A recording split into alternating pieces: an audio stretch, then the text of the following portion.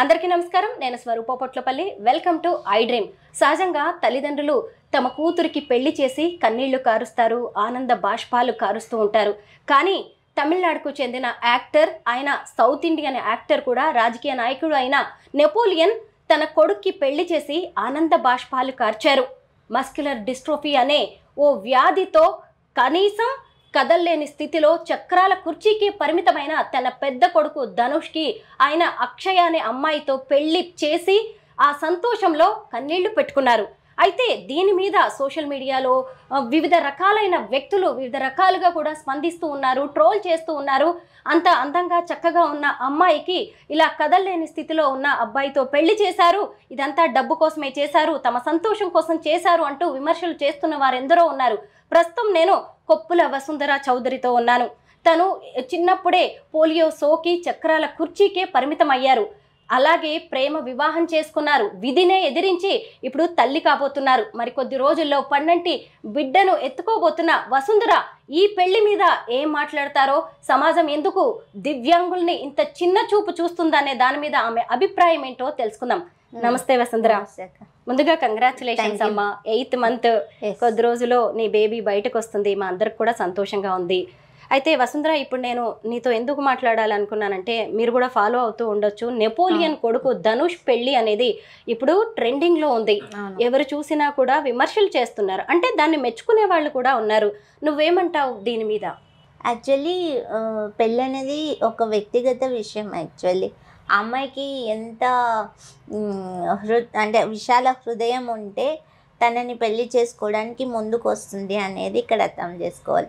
ఏ అమ్మాయి కూడా ఎంత డబ్బున్నా ఏమున్నా ఒక మనిషి నచ్చకపోతే ఆ మనిషితో జీవితాంతం కలిసి బతకడానికి ఒప్పుకోదు.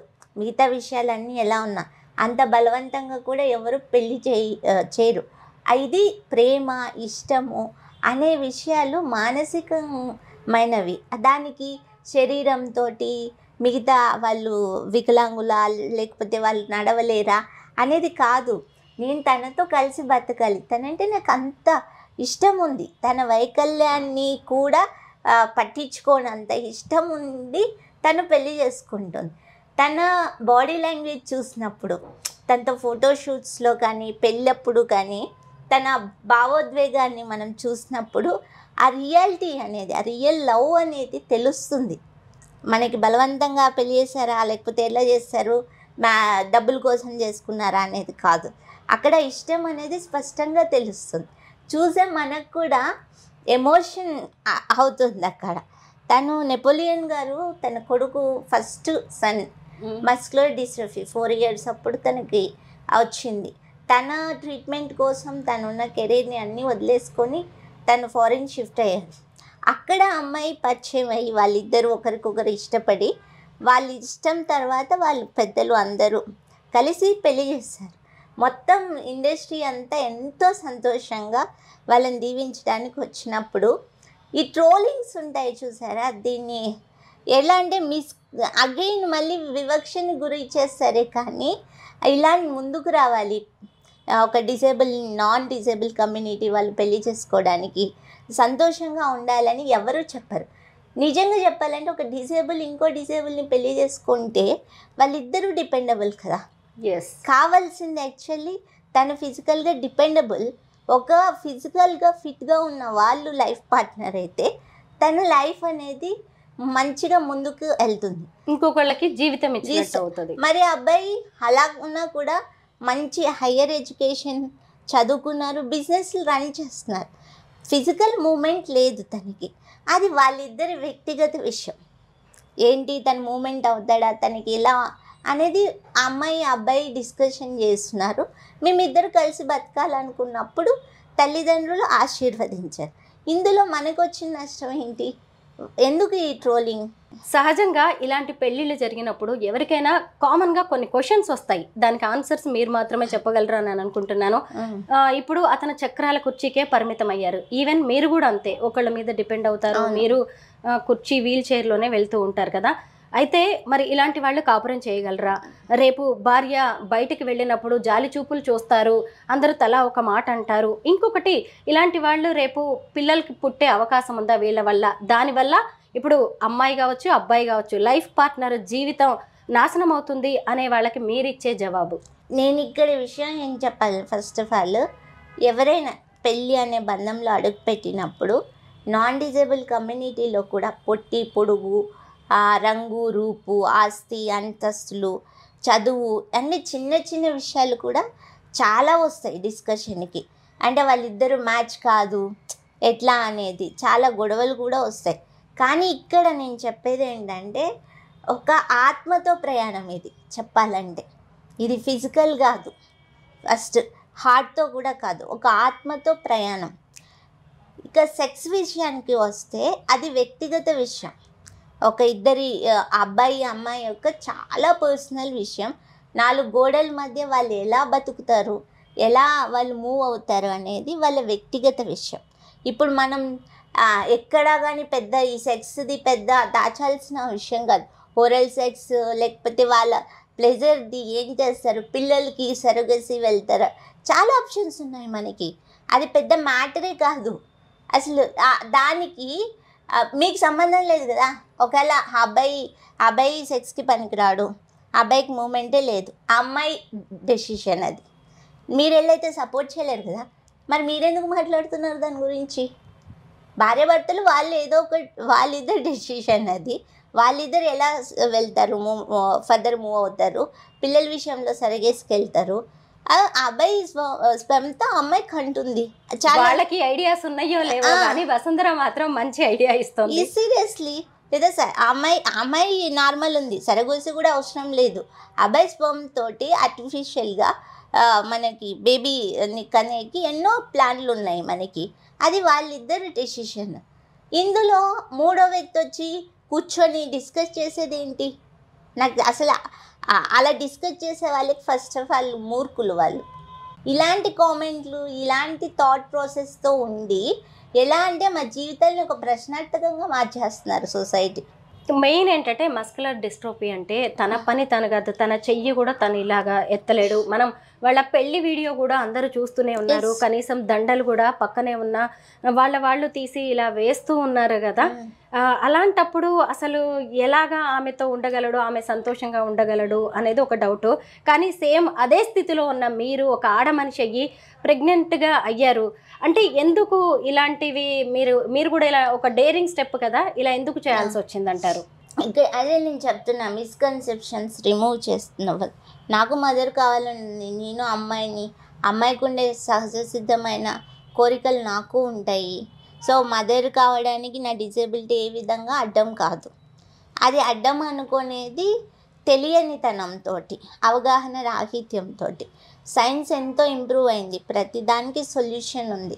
కానీ ఇక్కడ ఆ సొల్యూషన్ మా వరకు రీచ్ అవ్వట్లేదు. మాకు ఈ నీడ్ ఉందని చెప్పేసి మెడికల్ దానిలలో ఉన్న డాక్టర్స్కి ఎలా ట్రీట్ చేయాలనేది కొద్దిగా అవగాహన రాహిత్యం ఉంది. ఇప్పుడు మనకి అంటే ఇది ఇక్కడ పూర్తిగా ఉందని నేను చెప్పట్లేదు. ఉంది అవగాహన ట్రీట్మెంట్ విధానాలు కానీ రీచింగ్ లేదు ఇక్కడ. ప్రచారం లేదు ఫస్ట్ ఆఫ్ ఆల్. ఎవరికైతే నీడీ పీపుల్ ఉన్నారో వాళ్ళ వరకు ఇవన్నీ వెళ్ళట్లేదు. మనకి చూసుకుంటే మిగతా హాస్పిటల్స్ లైక్ ఇప్పుడు మనం ఫెర్నాండెస్ కూడా చూసుకోవచ్చు. Ninety nine percent normal delivery.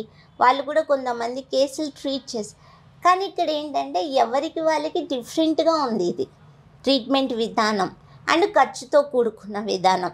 So దీన్ని వాళ్ళ వరకు తీసుకెళ్ళే ఒక ప్లాట్ఫామ్ లేదు మనకి. అంతే.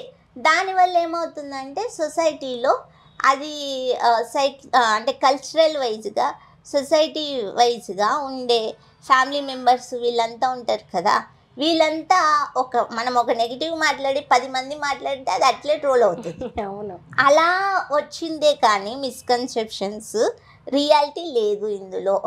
Wear very fit for everything ముఖ్యంగా ఇప్పుడు నెపోలియన్ గారు టార్గెట్ అయ్యారు. ఆయన రాజకీయ నేత కావడం ఒక కారణం కావచ్చు ఇందులో.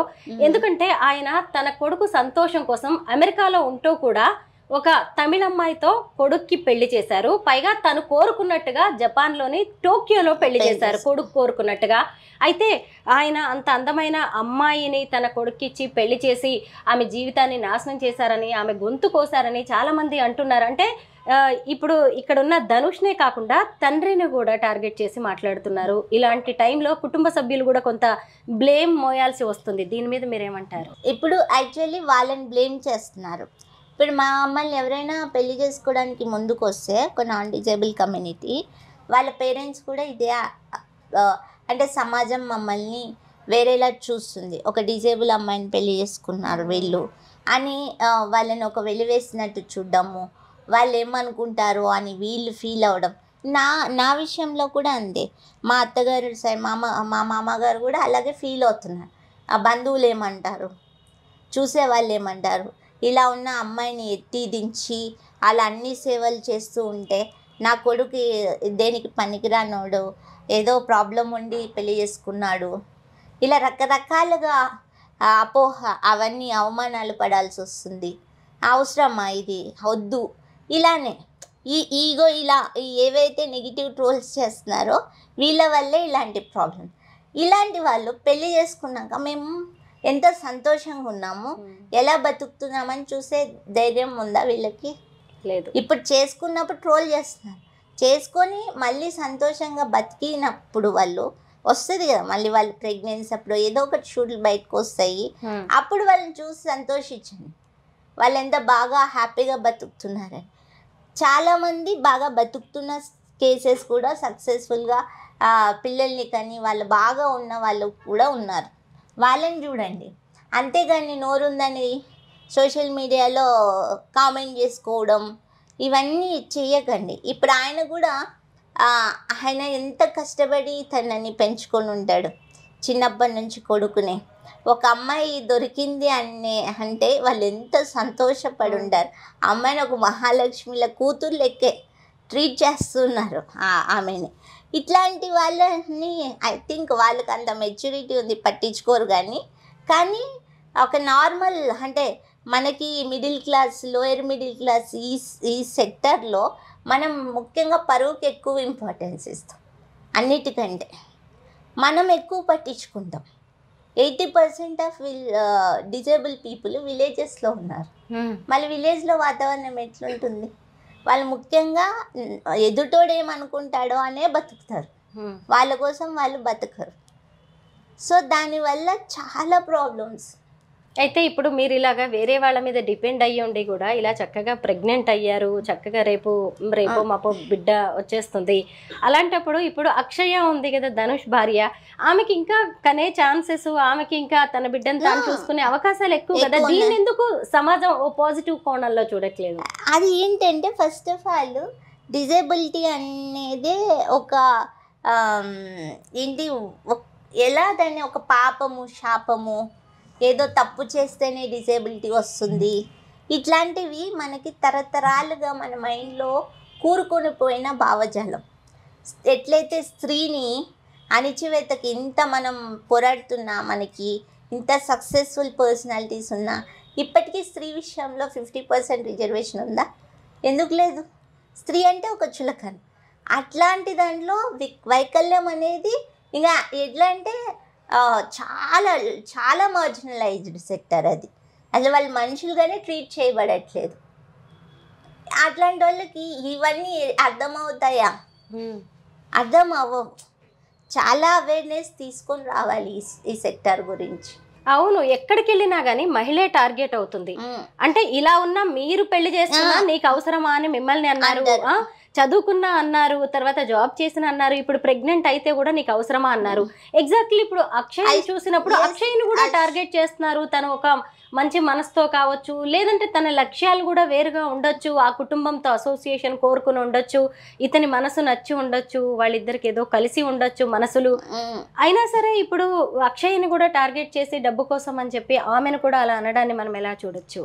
సరే అది ఇక్కడ ఒక డిజేబుల్ని పెళ్ళి చేసుకొనిందని ఆమె మీద ట్రోల్ చేస్తున్నారు. ఓకే. అమ్మాని గారు నేను అన్ అంటున్నానని కాదు. అమ్మాని గారి కొడుక్కి హెల్త్ ప్రాబ్లం ఉంది. ఆమె తను కూడా అతన్ని ఇష్టపడి పెళ్ళి చేసుకుంటోంది. Normal person. వాళ్ళ పెళ్ళి అంగరంగ వైభవం జరిగింది. మరి ఎందుకు ట్రోల్ చేయట్లేదు? అంటే ఇక్కడ మార్జినలైజ్ సెక్టార్లో ఎవరైతే ఉంటారో స్త్రీలు కావచ్చు వికలాంగులు కావచ్చు అందులో వికలాంగులైన స్త్రీలు ఉన్నప్పుడు ఇవన్నీ ఎక్కువ మనకి. అది అంటే ఒక నెపోలియన్ ఆ, ఆ కుటుంబం అంటే అంత హయ్యర్గా వాళ్ళు పొలిటీషియన్స్ అయ్యి మంచి ఫ్యామిలీ అయినా వాళ్ళనే వదలట్లేదు. ఇంకా normal lower middle class middle class వాళ్ళని వదులుతారా? ఇది మైండ్ సెట్ అంతే. కానీ జనాల్లో కూడా బ్రాడ్ మైండ్ రావాలి మెచ్యూరిటీ రావాలని చెప్తున్నారు చదువుకుంటే సరిపోదు ఎదుటి వ్యక్తుల్ని కూడా అర్థం చేసుకుని అలాగే ఎదుటి వ్యక్తులు చేసిన దాన్నైనా కనీసం అప్రిషియేట్ చేయగలకపోయినా సరే కనీసం వాళ్ళని ఏమి అనకుండా నెగిటివ్గా ట్రోల్ చేయకపోతే చాలు. అంత మనసు లేని తనమే డిజబిలిటీ ఫస్ట్. ఉమ్, వీళ్ళకు ఉందా డిజబిలిటీ మెంటల్ డిజబిలిటీ. అవును. అంటే అతని జీవితం అలాగే ఉండిపోవాలా? ఒకవేళ ఒక విధి కాటేసిన జనం కూడా ఆయన ఎందుకు అలాగే ఉండనివ్వాలి అనేది మీ చేయడానికి? నేను పెళ్ళి చేసుకుంటానా? ఎవరిని చేసుకుంటా? నన్ను ఎవరు చేసుకుంటారా? అమ్మాయి ఎందుకు చేసుకుంటా నీకెందుకు? ఉమ్. నీకెందుకు ఫస్ట్ ఆఫ్ ఆల్ మీకు. వేరే పని లేదా? ఈ మాత్రం ఆలోచించకుండానే ఆమె నిర్ణయం తీసుకుంటుందా ఉంటుందా? వాళ్ళకి తెలీదా? వాళ్ళు వాళ్ళు ఇన్ ఫ్యూచర్ వాళ్ళకి సెట్ అవ్వకపోతే పోతారు విడిపోతారు. ఎవరు విడిపోవట్లేదా? అవును. ఎంతమంది సెలబ్రిటీస్ విడిపోతున్నారు? ఎంతమంది నార్మల్ వాళ్ళు విడిపోతున్నారు? అదంతా ఒక జర్నీ. మనం ఎవరు డిసైడ్ చేయడానికి? ఎస్ చాలా బాగున్నాయి మీ అభిప్రాయాలు. ఇంకొందరిలో కూడా ఆలోచన రేకెత్తించేలాగా మీరు మాట్లాడుతున్నారు. అంటే ఒక